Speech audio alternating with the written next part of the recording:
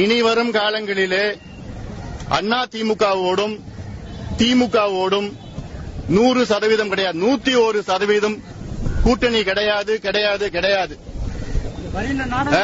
வருகின்ற நாடாளுமன்ற தேர்தலிலும் அதற்கு பிறகு வருகின்ற சட்டமன்ற தேர்தலிலும் அதற்கு பிறகு வருகின்ற அத்துணை தேர்தலிலும் இந்த திராவிட கட்சிகளுடன் ஒருபொழுதும் கூட்டணி கிடையாது. பாமக ஆளுங்கட்சியாக வரும். அதனால அதுல சந்தேகம் வேண்டாம். அந்த வகையில எங்களுக்கு வளர்ச்சி இருக்கிறது. இன்று மூன்று ஆண்டு காலத்திலே உறுதியாக பாமக ஆளுங்கட்சியாக வரும்.